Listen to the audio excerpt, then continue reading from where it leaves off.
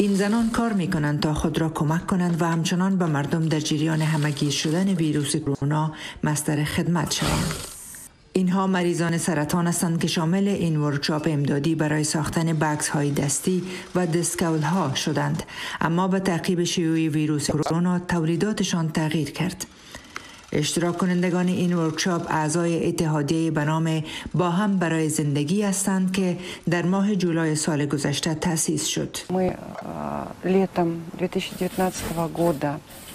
در تابستان سال 2019 ما این ورکشاپ اتحادیه آمه را با منظور کمک پولی به زنان در قسمت کالیف جسمی و روانی تأسیس کردیم.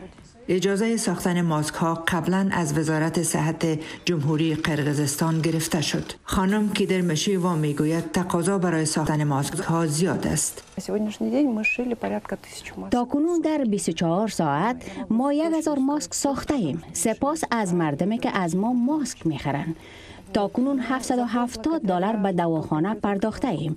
مردم می توانند از جاهای دیگر خریداری کنند. اما منتظر ما می مانند و از ما به قیمتی که روی آن می گذاریم خریداری می کنند این ورکشاپ توسط زنان به پیش برده می شود که مریضان سرطان هستند و یا از آن نجات یافتند. هدف ایجاد این ورکشاپ آن بود که با فروش اشیاء ساخت دست خودشان مصارف تداوی مریضان را بپردازند که خودشان توان پرداخت آن را ندارند.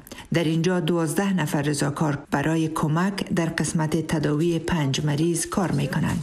آنها باید ماهانه 2500 دلار جمع آوری کنند.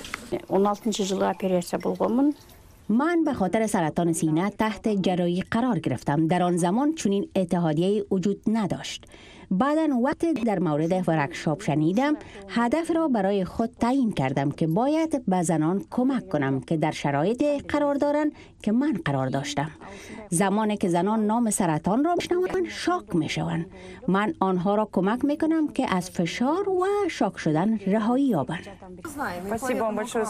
اکنون خانم المتووا و همکارانش توجه را به کمک دیگران به عین و معطوف داشتند.